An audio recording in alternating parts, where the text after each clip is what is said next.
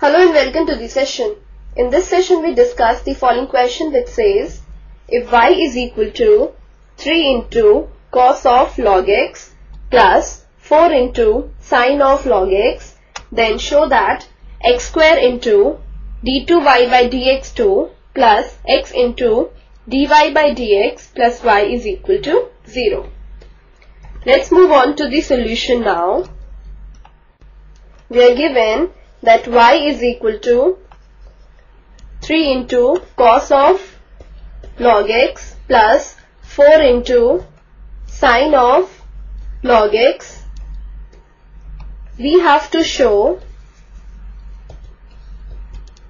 x square into d2y by dx2 plus x into dy by dx plus y is equal to 0. We take this as equation 1. Next we would differentiate both sides of equation 1 with respect to x. So,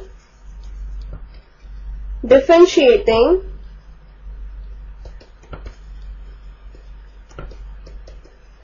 both sides of equation 1 with respect to x we get dy by dx is equal to 3 into now differential of cos x is minus sin x. So it would be minus sine of log x into differential of log x which is 1 upon x. Then plus 4 differential of sin x is cos x. So here it would be 4 into cos of log x into differential of log x which is 1 upon x. So this is dy by dx. So further we get x into dy by dx is equal to minus 3 sine of log x plus 4 cos of log x. Let this be equation 2. Now, we differentiate equation 2 with respect to x. So, differentiating equation 2 on both sides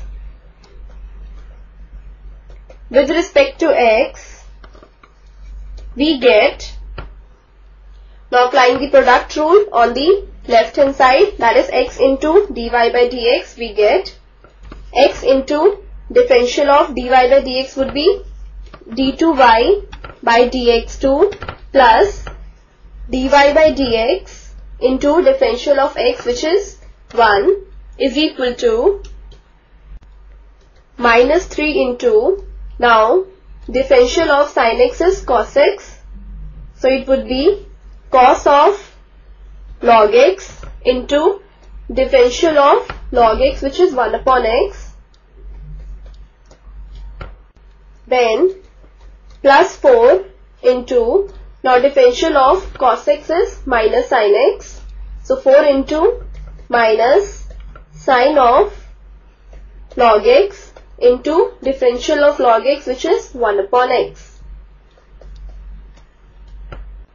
So this further gives us x into d2y by dx2 plus dy by dx is equal to minus 3 upon x into cos of log x minus 4 upon x into sine of log x.